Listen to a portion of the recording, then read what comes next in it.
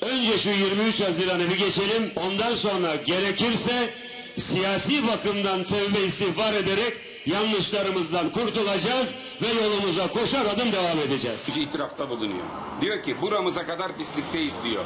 Cayır cayır yanacak kadar suçumuz var, günahımız var diyor. Tövbeye muhtacız diyor. AK Partili Numan Kurtulmuş öyle bir cümle kurdu ki 23 Haziran'a giderken siyasetin yeni tartışması oldu. 23 Haziran'ı atlatalım gerekirse tövbe ederiz dedi Kurtulmuş. Eğer tövbe edeceğiniz bir şey varsa 23 Haziran'ı beklemenize gerek yok. Ee, hemen tövbe edin. İslami değerlerin ferrafaka ve ahlak değil adımlar seçimden sonra. 1 milyon 700 bin hemşerimiz sandığa gitmedi. 320 bin kişi geçersiz oy kullanmış. Vakit kısarak, küserek geri çekilmek vakti değildir. AK Parti'nin 23 Haziran stratejisi sandığa gitmeyen ya da önceki seçimin aksine bu kez AK Parti'ye oy vermeyen küskün seçmeni ikna.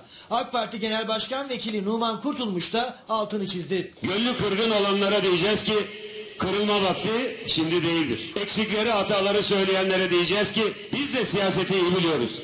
Eksikleri hataları görüyoruz. Seçmeni böyle ikna edeceğiz dedi Numan Kurtulmuş. Eksiklikleri hataları gidermek için de 23 Haziran sonrasını işaret etti. Gerekirse tövbe ederiz diyerek. Önce şu 23 Haziran'ı bir geçelim. Ondan sonra gerekirse siyasi bakımdan tövbe istiğfar ederek yanlışlarımızdan kurtulacağız. Tövbeyi günah işleyenler yapar. Bu kadar şeytana uymuşluğa, bu kadar kul hakkı yemişliğe, yanlış yapmışlığa rağmen bir sefer daha oyunu ver ve diyor, ver diyor.